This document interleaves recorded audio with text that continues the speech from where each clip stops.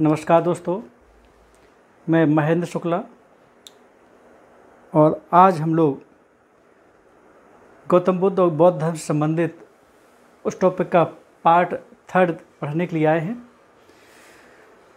दोस्तों ये काम करना है आप लोगों को।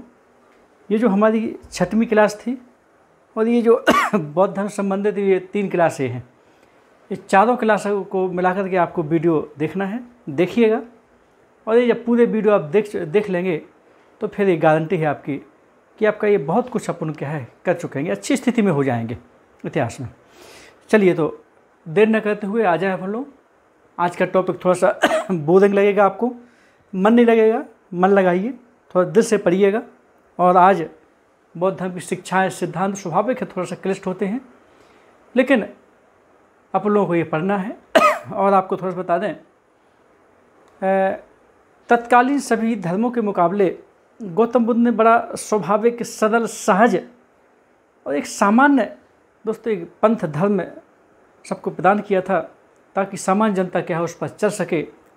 और यहाँ थोड़ा सा आपको बता दें, इनको गौतम बुद्ध को उस समय महा वैद्य भी क्या है दोस्तों, ये कहा गया है।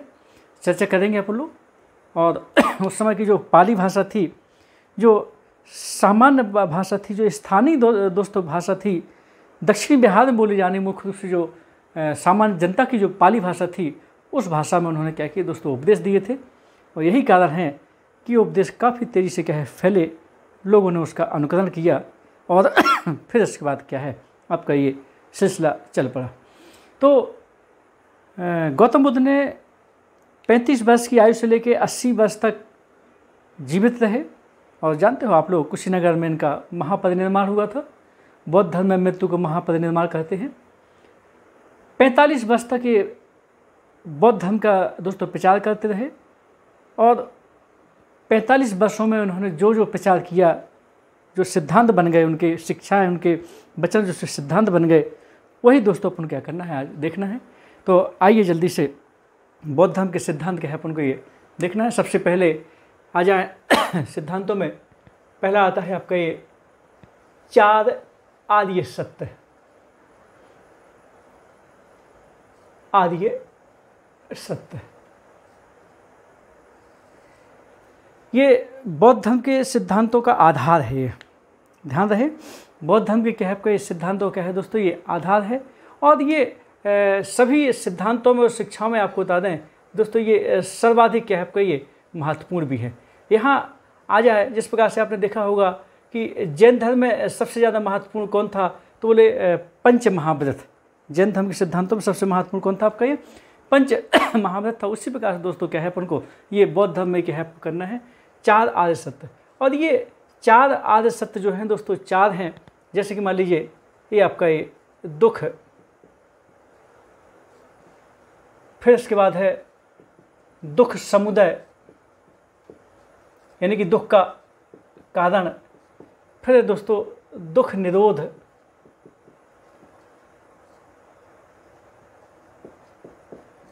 फिर है आपका दुख निरोधगामी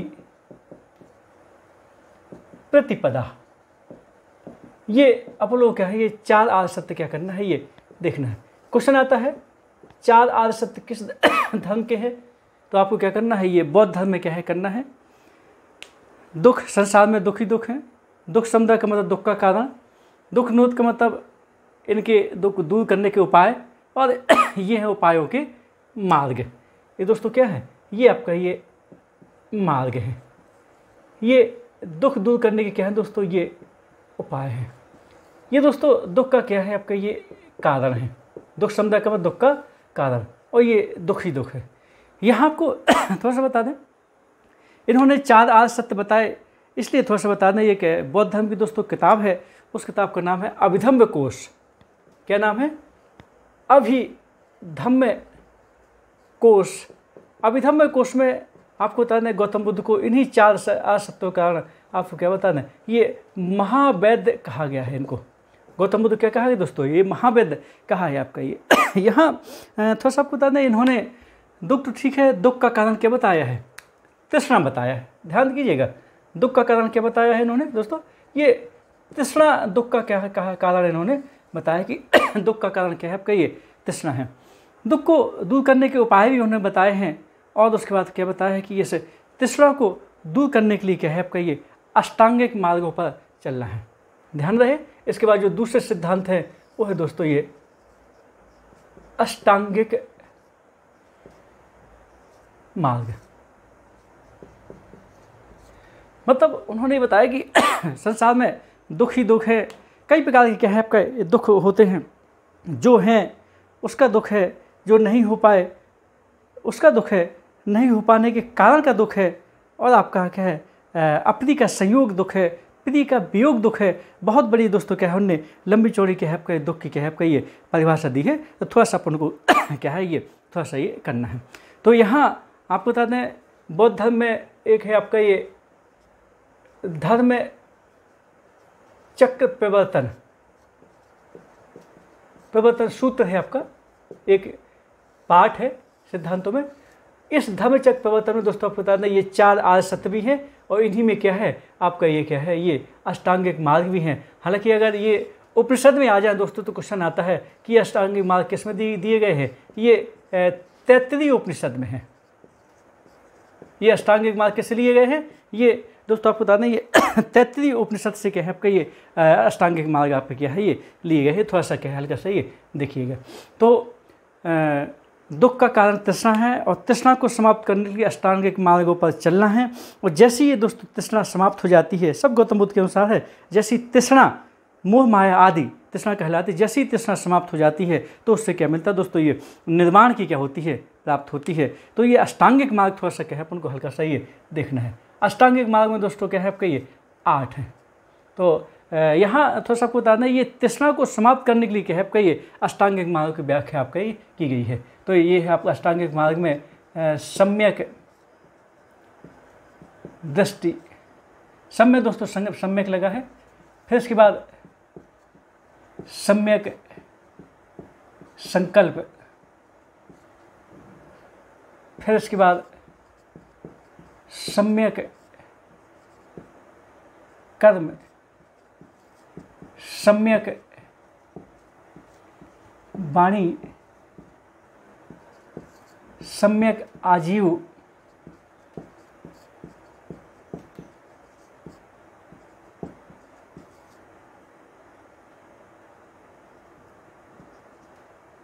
ये छः हो गए।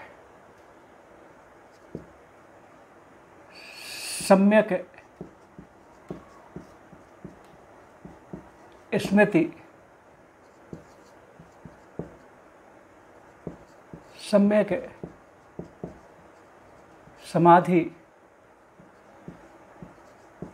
सम्यक व्यायाम।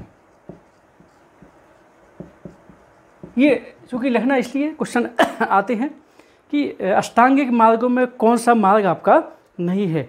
इन आठ मार्गों पर चलने से दोस्तों क्या हो जाती है? गौतम बुद्ध के अनुसार तृष्णा समाप्त हो जाती है और जब तृष्णा समाप्त हो जाती है तो क्या हो जाएगा? आपका ये निर्माण की क्या है प्राप्त हो जाती है। ये दुख का कारण आपका क्या है समाप्त हो जाएगा। चलिए दोस्तों, सम्यक दृष्टि, अच्छी दृष्टि, सब कुछ अच्छा पोस्ट विचार में है अच्छा संकल्प हो, अच्छे बढ़िया कर्म हो आपके क्या है कर्म प्रधान धर्म है, काफ़ी महत्व दिया गया। सम्यक वाणी, अच्छी वाणी हो, आजीविका अच्छी हो, अपनी स्मृतियाँ अच्छी हो, समाधि, मन एकाग्रचित, व्यायाम मतलब व्यायाम वगैरह अच्छा व्यायाम, ताकि तन मन क्या है दोस्तों, ये आपका स्वस्थ रहे। इस कहाँ से क्या है आठ दोस्तों ने क्या बताए हैं। इन अष्टांगिक मार्ग पर चलने से क्या हो जाता है, दोस्तों, ये ये तृष्णा समाप्त हो जाती है। ये है आपका। इन पर चलने से क्या समाप्त हो जाता है? ये तृष्णा, दोस्तों, क्या हो जाती है? समाप्त हो जाती है। ठीक है ना? मोह माया क्या है आपका ये समाप्त हो जाता है। चलिए, दोस्तों, ये तो आपको क्या है अष्टांगिक मार्ग हो गए। अब इसके बाद आ जाए आप लोग ये दस सील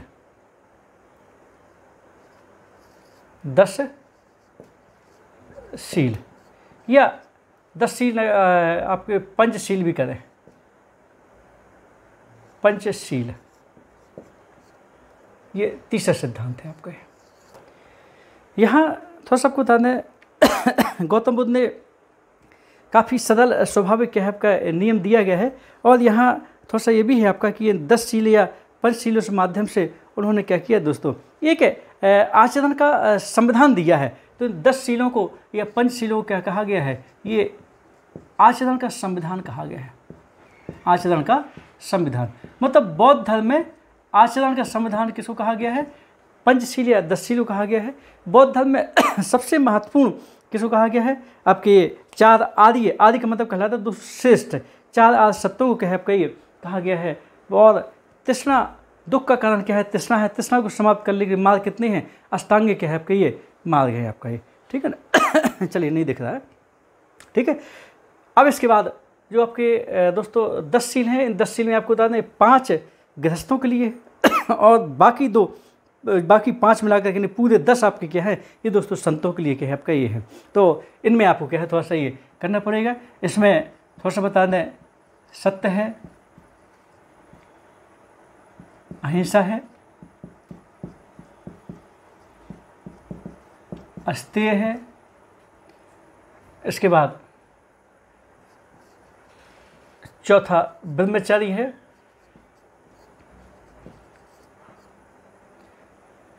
नम्र कर लेते हैं।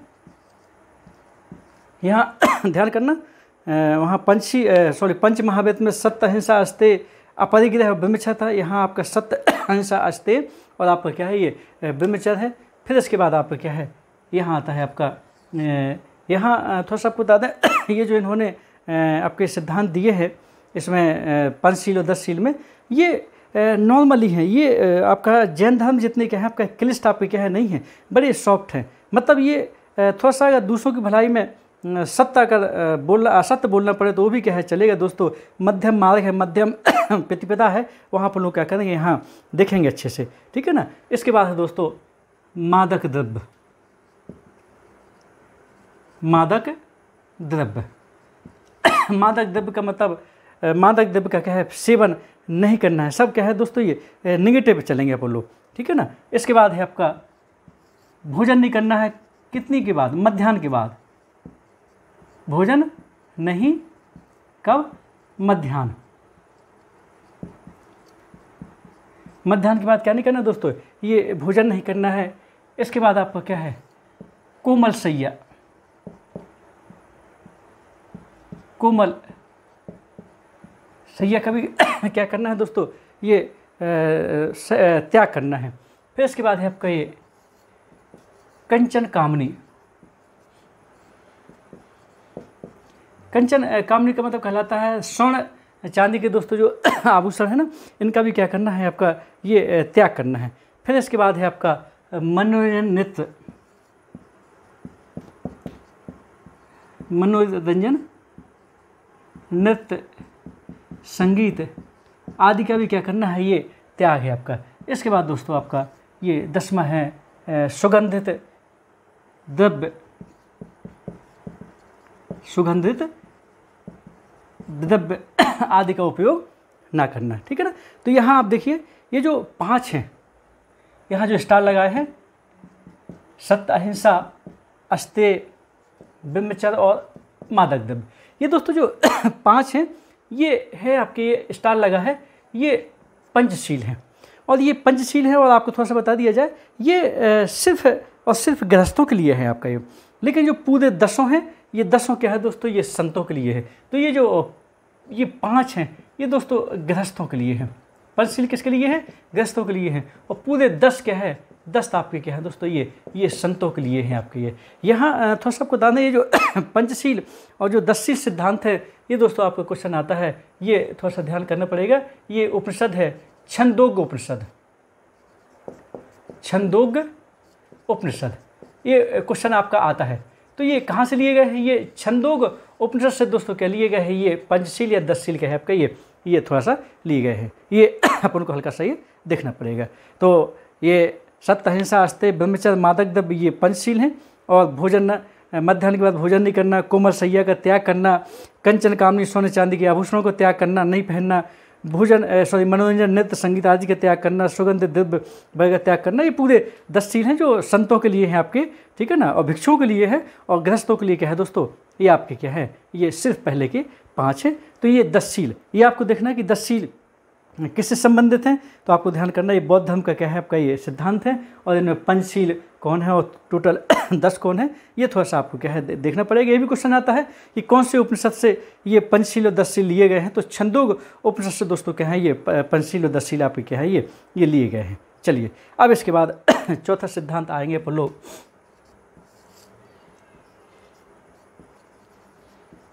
मध्यम मार्ग। दोस्तों, इसे मध्यम मार्ग भी कहते हैं, मध्यम प्रतिपदा भी कहते हैं, इसे तथागत मार्ग भी कहते हैं। इसलिए कि ये गौतम बुद्ध द्वारा दिए गए क्या है, सिद्धांत है ने क्या कहे दोस्तों, ये तथागत के मार्ग भी कहते हैं। इन्होंने ना बहुत ज़्यादा शरीर को कष्ट देने के लिए कठिन तपस्या की बात कही है और ना ही एकदम से क्या है आपका ये शरीर को ढीला छोड़ देने की ना ही आपके क्या है आपका एकदम कम तपस्या की बात कही। इन्होंने बीच का रास्ता अपनाया है। इसलिए इस, इनके, इन्होंने एक सिद्धांत दिया, उसको बोलते हैं मध्यम प्रतिपदा। मतलब बीच का रास्ता अपनाओ। तथागत, गौतम बुद्ध को तथागत कहते हैं। इसलिए दोस्तों, इस मध्यम मार्ग को तथागत तथागत मार्ग भी कहते हैं। सीधा सीधा उन्होंने कहा है कि बीणा के ताल को इतना मत कसो कि वह टूट जाए और बीणा के ताल को इतना ढीला भी मत छोड़ो कि क्या हो जाए, वो संगीत देना यानी कि बाजना क्या हो जाए, दोस्तों, ये बंद हो जाए। तो ये आपका क्या है, ये मध्यम मार्ग भी जो चौथा है, ये अपन क्या है, देखना पड़ेगा।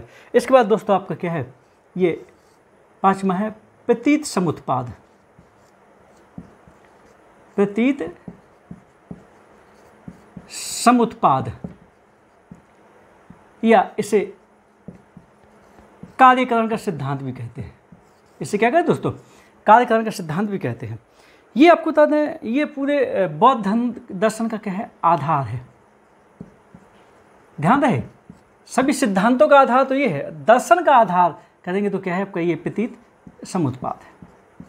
जिस प्रकार से वहाँ जैन दर्शन का आधार, सप्तभंगी सिद्धांत अनेकांतवाद था, उसी प्रकार से दोस्तों, बौद्ध दर्शन का आधार प्रतीत समुत्पाद प्रतीत समुत्पाद का मतलब कहलाता है जो प्रतीत हो रहा है।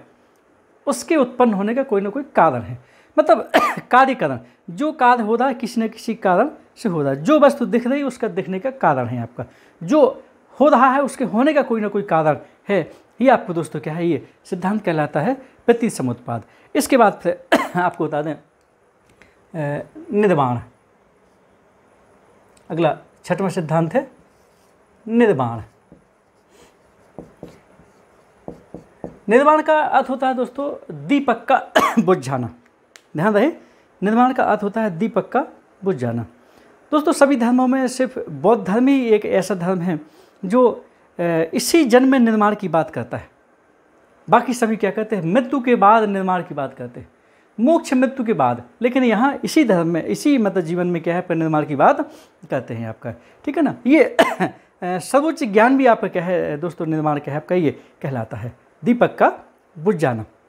और इसी धर्म में क्या है आपका निर्माण प्राप्त आपको क्या है किया जाता है। इसके बाद सातवां है आपका त्रिरत्न त्रिरत्न है दोस्तों, बुद्धम, धम्मम, संघम। यहाँ आपको बता दें, जैन धर्म में भी त्रिरत्न है। जैन धर्म में सम्यक, ज्ञान सम्यक, आचरण सम्यक, दर्शन, ज्ञान, सिद्धा, आचरण ये जैन धर्म के त्रिरत्न हैं और बौद्ध धर्म के त्रिरत्न हैं। त्रि मतलब तीन रत्न का मतलब अच्छे नियम, बुद्धम, धम्मम और संघम। यहाँ आपको थोड़ा सा बता दें अशोक के जो भाबुद अभिलेख है, जो राजस्थान में जयपुर के पास है भाबुद अभिलेख, उसमें भी स्पष्ट रूप से क्या है त्रिरत्नों की बात कह, कही गई है। और जब ये बौद्ध धर्म में कोई भी व्यक्ति प्रवेश करता था तो उसको ये बोलना पड़ता था, बुद्धम शरणम गच्छामी धम्मम शरण गच्छामी संघम शरणम गच्छामी। इस प्रकार से दोस्तों क्या है, ये बौद्ध धर्म के क्या है आपका ये त्रिरत्न है आपके। इसके बाद आपका ये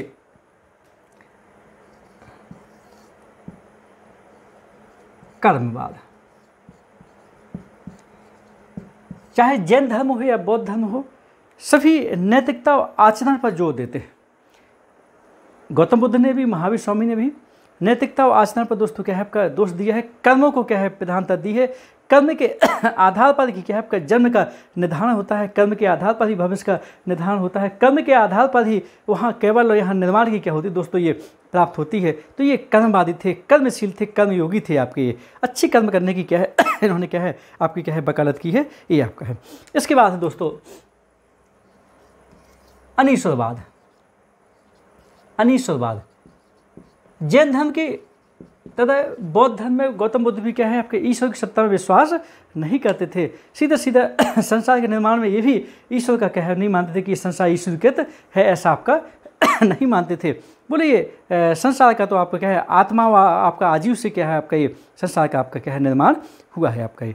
इसके बाद है आपका ये, अनात्मवाद।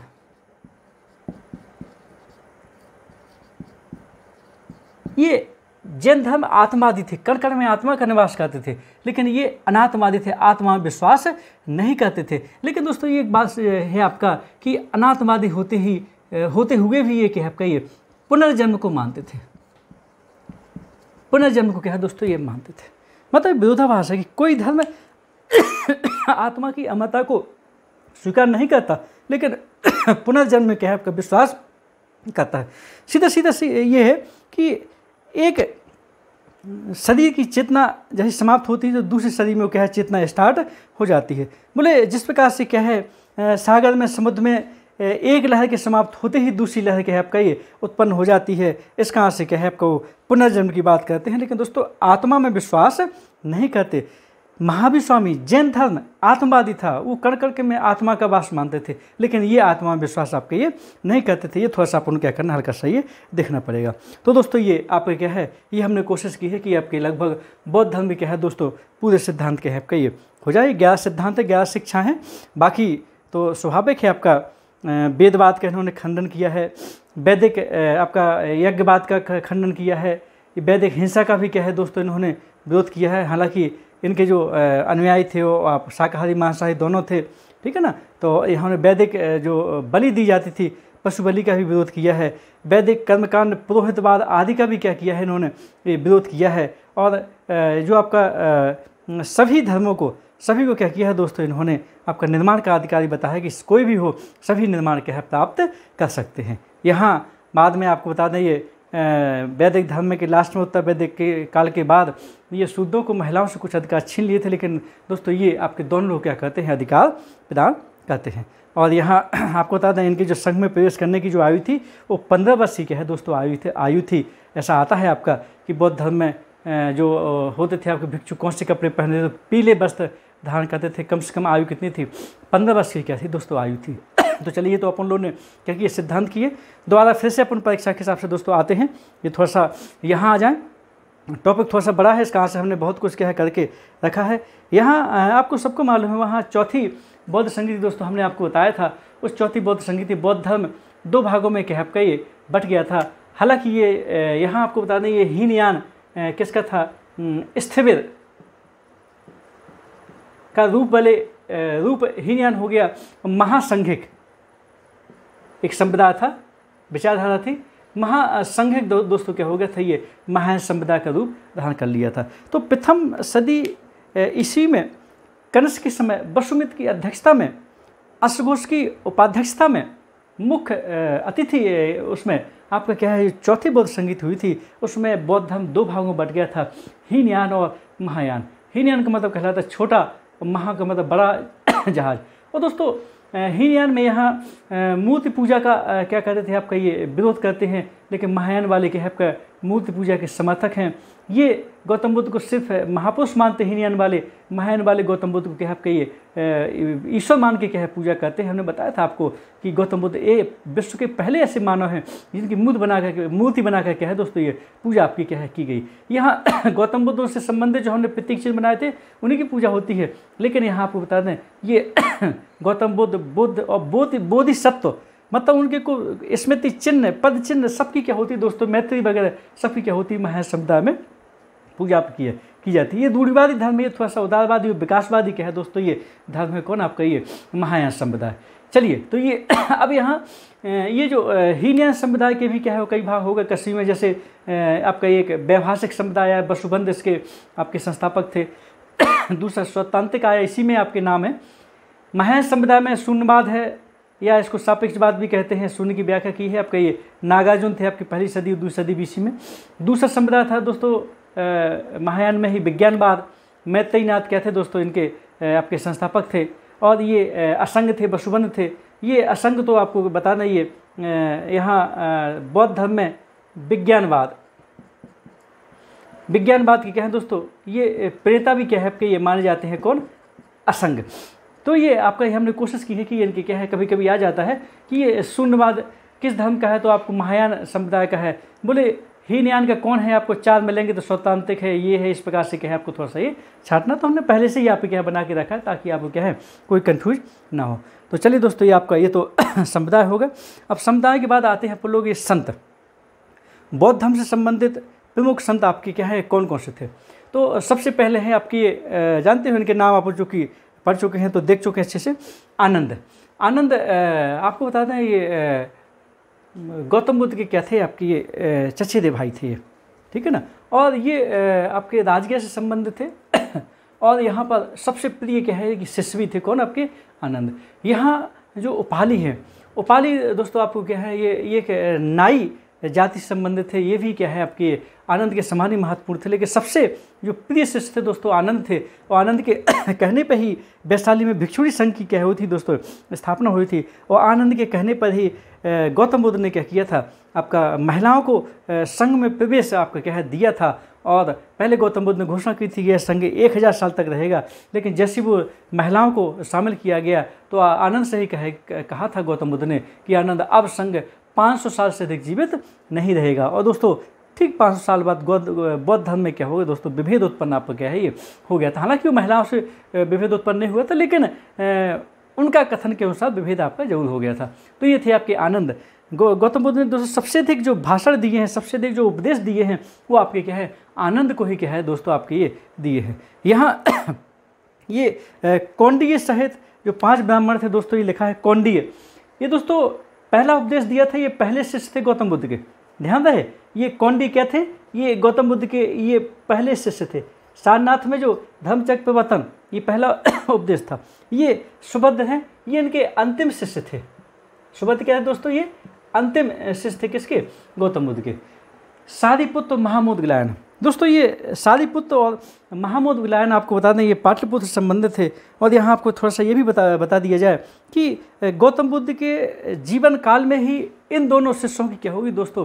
मृत्यु आप क्या है, हो गई थी। और इनके तो सारीपुत्र के मृत्यु पर तो क्या है, काफ़ी गौतम बुद्ध क्या हुए थे, विचलित आपके हो गए थे। और मध्य प्रदेश में रायसेन ज़िले में सांची का जो स्तूप है, जो अशोक ने बनवाया है दोस्तों, उसमें सारीपुत्र और महामोद गिलायन की क्या है अस्थि अवशेष दोस्तों आपके वहाँ है, उसी स्तूप में है आपके।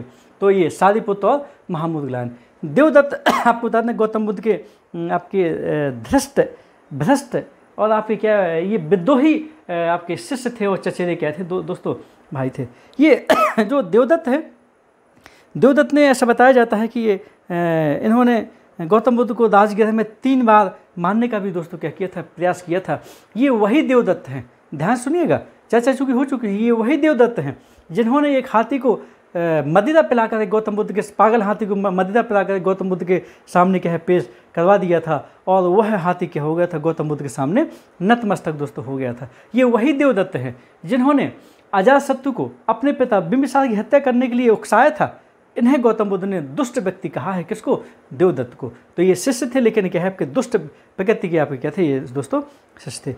ये अनिरुद्ध अनिरुद्ध, आपको बता दें, ये व्यापारी थे धनाढ़ व्यापारी थे आपके ये। ये मतलब फाइनेंस वगैरह करते थे व्यापारी वगैरह। ये जो मातंग है, मातंग दोस्तों, शुद्ध था। मतलब शुद्ध को भी निर्माण प्राप्त हुआ है, ये भी आपका क्या है, ज्ञान का वो था आपका, शुद्ध था। सुनीत सुनीत भंगी जाति संबंध था, मेहता जाति संबंध था दोस्तों। तो मातंग और सुनीत, जैसे क्या है, शुद्ध भी दोस्तों, क्या है, इनके उसमें थे। सारीपुत्र महामुद, गिलान ये ब्राह्मण वगैरह थे आपके। जीवक जीवक जानते हैं, ये राजगृह की वैश्या का पुत्र था। जीवक कौन था? राजगृह की वैश्या का पुत्र था। और बिंबिसार का राजवैद था। ये भी गौतम बुद्ध का शिष्य था। और ये जीवक वही जीवक है। जिसने चंद्र प्रदोत की क्या है आपका पीलिया रोग ठीक किया था। गौतम बुद्ध में भी आपके बौद्ध संतों की क्या सेवा में लगा रहता था। जो आपका चाइल्ड स्पेशलिस्ट था, उस समय शिशु विशेषज्ञ, शिशु रोग विशेषज्ञ था कौन? जीवक आपका। तो जीवक आपका राज वैद था। ऐसा कहा जाता कि जीवक का जो आपका एक फ़ीस थी आपकी वो एक हज़ार का सरपड़ थी दोस्तों उस समय। जीवक की फ़ीस थी आपकी मतलब दिखाने की फ़ीस थी। ये यश अनाथ पिंडक, ये भी दोस्तों क्या थे आपके? व्यापारी थे। सुभद्र बता चुके सुभद्र गौतम बुद्ध की मृत्यु पर इसने दोस्तों हर्ष भी व्यक्त किया था। खुशी हुआ था। गौतम बुद्ध जैसी मृत्यु हुई तो क्या, काफ़ी प्रसन्न हुआ था ये। ये अंतिम व्यक्ति हैं। इस व्यक्ति को कुशीनगर में गौतम बुद्ध ने अंतिम उपदेश भी दोस्तों क्या है दिया था। ये अंतिम शिष्य है उनका वो। और इसने गौतम बुद्ध की मृत्यु पर कहा था कि अब हम ही मतलब हर्ष व्यक्त करते हुए कहा था कि अब हम सभी बंधनों से क्या है, मुक्त हो गए हैं, अब हम क्या हो चुके हैं? दोस्तों, स्वतंत्र हो गए हैं। इस प्रकार से क्या है, इसने ऐसा आपका क्या है, सार्वजनिक भाषण दिया था किसने सुभद्र ने। और इसी के कारण कि कहीं संघ में कुछ गड़बड़ी न हो जाए, इसी के कारण, जस्ट उसी के बाद गौतम बुद्ध की महापरिनिर्माण मृत्यु के बाद, दोस्तों, इसी के कारण से बताया जाता है कि आपका पहली आपका बौद्ध संगीत का आयोजन क्या है दोस्तों? आपका हुआ था कहाँ? ये राजगृह में हुआ था। इसके बाद है महाकाचायन महाकाचायन भी दोस्तों गौतम बुद्ध के फ़ेमस शिष्य थे। यहाँ थोड़ा सा आपको बता दें गौतम बुद्ध को अंतिम समय में अवंती के महा सॉरी चंड प्रदूत ने भी क्या आमंत्रित किया था। लेकिन अपनी वृद्धावस्था के कारण वहाँ नहीं जा पाए थे। गौतम बुद्ध ने अपने शिष्य काचायन को भेजा था। तो काचायन ने चंद्र प्रदूत को बौद्ध धर्म में दीक्षित किया था। ध्यान रखिएगा, ये काचायन आम्रपाली सॉरी अंगुलीमाल। अंगुलीमाल, दोस्तों, डाकू था, ये श्रावस्ती का डाकू था। और ये क्या है आपका, ये अंगुली काट लेता था आपका। ये मतलब श्रावस्ती का डाकू, ये भी इसका भी हृदय परिवर्तन गौतम बुद्ध को देख करके हो गया था। ये आपके डाकू था, दोस्तों अंगुली माल श्रावस्ती का फ़ेमस डाकू था उस समय। आम्रपाली आम्रपाली वैशाली की गणिका थी, दोस्तों, उस समय। आम्रपाली कौन थी? वैशाली की आपका गणिका थी। आमिर पाली उसका पुत्र और आपका ये उसका पुत्र था आम्रपाली का अभय, जो बिंबिसार से उत्पन्न हुआ था, अभय आम्रपाली का पुत्र था। तो आम्रपाली उसका पुत्र अभय, ये भी दोस्तों क्या है, गौतम बुद्ध के क्या है, आपका शिष्य हो गए थे। तो इस साथ में पुत्र भी कर सकते हो, अभय। तो ये आपके क्या थे? ये भी गौतम बुद्ध के शिष्य थे। फिर कौंडी तो ठीक है, जानते हो आप लोग? ये गौतम बुद्ध क्या थे आपके ये सबसे पहले क्या है शिष्य थे कौंडी सहित पाँच जो ब्राह्मण थे। तो दोस्तों, हमने आपकी कोशिश की है कि जल्दी से क्या है आपका, फटाफट आपका क्या हो जाए। ये बौद्ध संत आपकी हो जाए, चूँकि चर्चा कर चुके हैं, इनके बारे में कुछ ना कुछ है आपका सबसे महत्वपूर्ण शिष्य आनंद, इनके बाद उपाली का नंबर, सारीपुत्र महामूद ग्लैन गौतम बुद्ध के जीवन काल में इनकी मृत्यु, सांची के स्तूप में इन्हीं की अस्थि अवशेष ये चचेरा भाई विद्रोही था, गौतम बुद्ध को मारने का प्रयास किया। अनुरुद्ध व्यापारी थे। मातंग शुद्ध थे, सुनीत आपके भंगी थे जीवक राजवैद था। यशनाथ पिंडक भी दोस्तों व्यापारी थे अंगुलीमाल डाकू था। सुबद अंतिम थे, गौतम बुद्ध की मृत्यु के बाद हर्ष व्यक्त किया था। कच्चायन ने चंद्र प्रदोत को आपका बौद्ध में दीक्षित किया था। आम्रपाली वैशाली की गणिका थी। पुत्र अभय भी इसी का पुत्र था आपका आम्रपाली का। कौन ये? पहले शिष्य थे। ये समुदाय हीनयान और महायान। हीनयान के दो व्यवहारिक स्वतांत्रिक महायान के दो शून्यवाद और विज्ञानवाद। यहाँ आपको दोस्तों बता दें, एक बज्ञान समुदाय भी है। बज्ञान समुदाय भी है। बज्ञान समुदाय है, ये अलग से समुदाय कहेंगे, सातवीं सदी ईसी में दोस्तों क्या है, इस बज्जन समुदाय का उद्भव हुआ। और सर्वाधिक विकास आपको बता दें, इस समुदाय का आठवीं सदी ईसी में हुआ। बज्जन समुदाय की जो प्रमुख देवी थी दोस्तों, ये तारा देवी थी, ये एक तांत्रिक समुदाय था। बज्जान के बाद यहाँ, इसी का आगे एक सहजान आया है। इसी का एक पार्ट है आपका ये। मन तंत्र मंत्रयान बज्जान मंत्रयान के बाद बज्जान सहजान आया जो आपके क्या कहे, बंगाल में हुआ है। तो क्वेश्चन आता है, कौन सी आपके बौद्ध धर्म की किस शाखा है, कहाँ बौद्ध धर्म क्या है? आपका पतन क्यों अग्रसर हो गया। तो आपका क्या है, ये बज्जान शाखा है, कहाँ? क्योंकि इसमें मत्स्य मदिदा आदि योग क्रिया वगैरह क्या है आपकी थी, जो साख्त समुदाय से दोस्तों क्या है, मिलती जुलती थी। और इसने क्या है बौद्ध धर्म की स्वाभाविकता को ही दोस्तों क्या है, आपका ये नष्ट कर दिया। था क्योंकि तंत्र मंत्र वगैरह क्या है आपका ये, मत्स्य मदिदा वगैरह आदि क्या है, योग क्रियाएँ इसमें, प्रमुख थी किसमें? बज्ञान में। और क्वेश्चन आता है, कब उत्पन्न हुआ? सातवीं, आठवीं सदी में हुआ और इसकी देवी कौन थी? देवी, दोस्तों आपकी क्या थी? ये, तारा थी। ये महायान संप्रदाय आपको बता दें, ये महायान समुदाय बताता बताया जाता है कि ये श्री पर्वत आंध्र प्रदेश में दोस्तों श्री पर्वत पर क्या उत्पन्न हुआ? इसके संत जो मेन थे नागार्जुन थे। नागार्जुन दो, दोस्तों महायान समुदाय को काफ़ी विकास किया। किसने? नागार्जुन ने। चलिए यहाँ दोस्तों अपन लोगों ने बौद्ध धर्म के सिद्धांत देखे हैं। बौद्ध धर्म के सिद्धांतों में देखिए खूब क्वेश्चन आता है चार आर्य सत्यों में कौन नहीं है? दुख दुख समुदाय दुख निरोध दुख निरोध गामी प्रतिपदा ठीक है ना? ये बता चुके। दुख का कारण तृष्णा है तृष्णा को समाप्त करेंगे अष्टांगिक मार्ग से। ये चार हज़ार सत्र आर्य सत्य सबसे महत्वपूर्ण है। अभिधम्ब कोष में गौतम बुद्ध को महावैद्य कहा गया है क्योंकि इन्होंने दुखों को निजात दिलाने के लिए क्या है रा, रास्ते आपके बताए हैं महावैद्य। ठीक है ना? और ये धर्म चक्र प्रवर्तन सूत्र में अष्टांगिक मार्ग और चार आर सत्यों का क्या है दोस्तों ये वर्णन है। लेकिन अगर उपनिषद आ जाए कि कौन से उपनिषद में अष्टांगिक मार्ग हैं? तो तैतृय उपनिषद में दोस्तों अष्टांगिक मार्ग है। ध्यान दीजिएगा।